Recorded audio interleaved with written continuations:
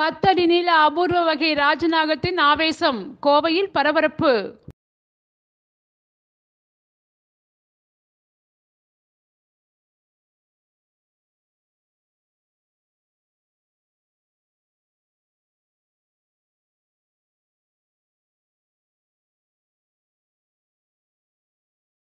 உண்மையான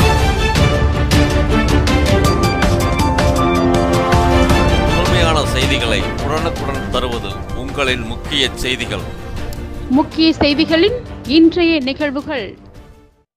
வணக்கம். செய்திகள் வாசிப்பது சுதாரவி கோவை மாவட்டத்தில் உள்ள மேட்டுப்பாளையம் ஊட்டி செல்லும் சாலையில் கல்லாறு பகுதியில் பொதுப்பணித்துறைக்கு சொந்தமான ராஜவாய்க்காலில் அபூர்வ வகையைச் சேர்ந்த ராஜநாகம் வாய்க்கால் நீரில் பதுங்கி இருப்பதை பார்த்து அப்பகுதி மக்கள் அதிர்ச்சியடைந்தனர்.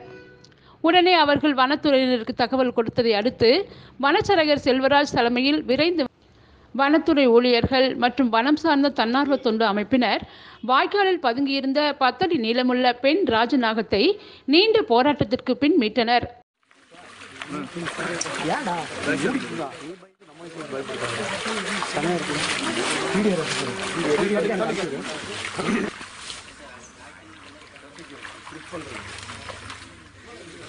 Song song song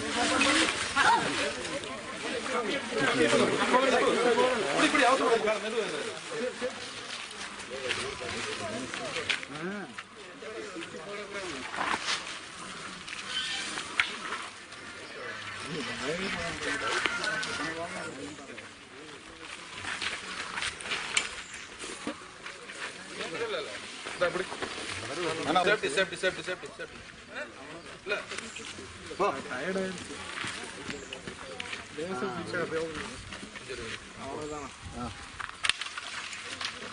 அவ்வளோதான் அண்ணா தூக்கி சாக்கு ஓட்டல ரைட் ஓகே ஓகே முக்கிய செய்திகளுக்காக கோவையிலிருந்து ஜெய்சிங்.